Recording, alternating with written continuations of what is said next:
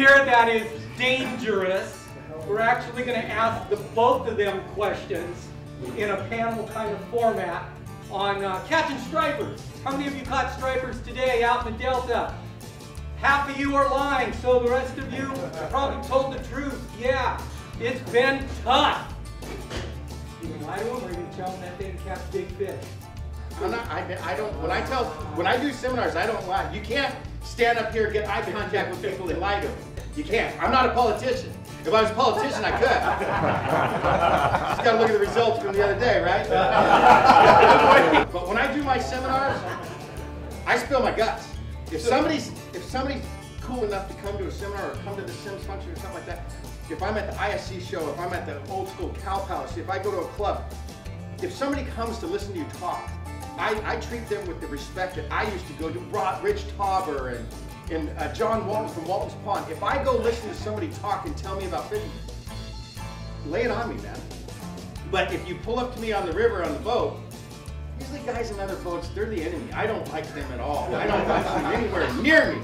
I want, I will run the other way, especially if I recognize you and I know. Well, well considering I run into you in every one of the spots, I'm like, oh, geez, there's Bobby.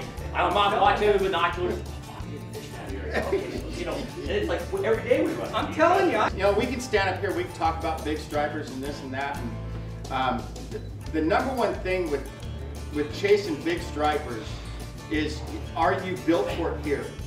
Are you built for it here? We all want to see it. We all want to watch it go down. We all want to be eight feet away from watching it go down. That's the best seat in the house. Keep it to the right. You got a good one on you. You got a good one. We're gonna reel Ryan. Did you get her? Nice, oh. Ryan. Nice, Ryan. But you got to put yourself in that position, and the only way you're going to really do that is lots and lots of time not getting bit in big fish striper situations, because that preps you for it. And you got, to you know, a lot of guys.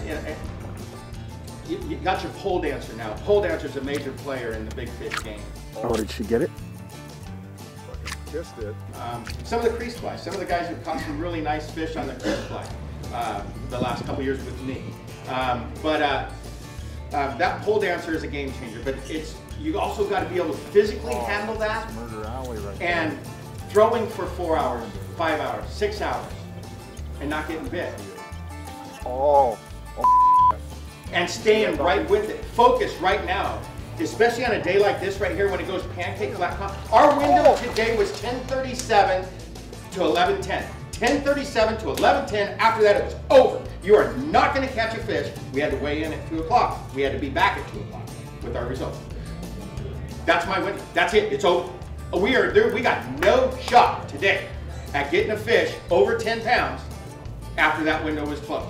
And then my guy jerked a a topwater bait away from a fish that was in the mid-teens. We watched her try to get, he, anyway. Um, but, I got another question. All right, uh, what type of water are you looking for when targeting giant stripers? Like what, what water depth, current, no current, weed line, rock walls, trees, what, what type of water? I'll ask, uh, I'll ask you first, Bob. My favorite, my favorite big striper depth is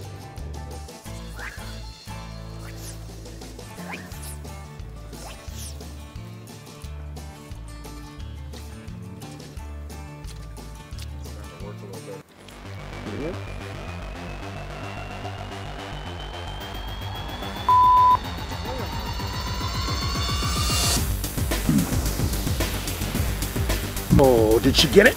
Yeah, are you on? I am on. That is awesome! That is awesome, dude!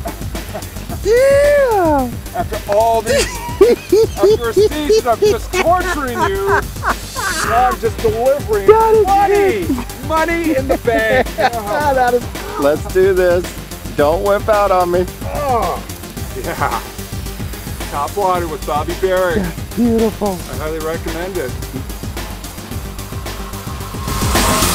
Thank you.